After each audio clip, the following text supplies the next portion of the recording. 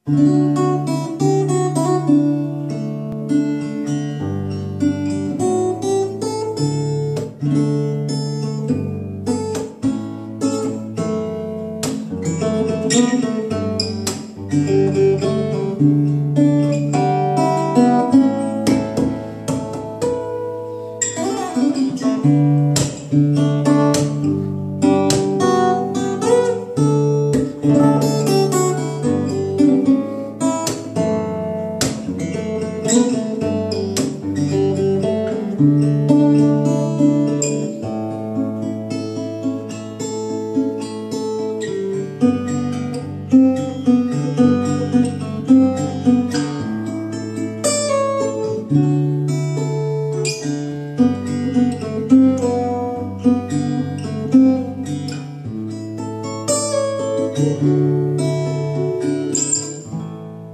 ho preso la chitarra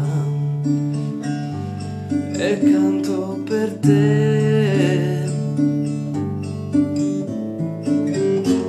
Il tempo di imparare non l'ho e non so cantare, ma canto per te.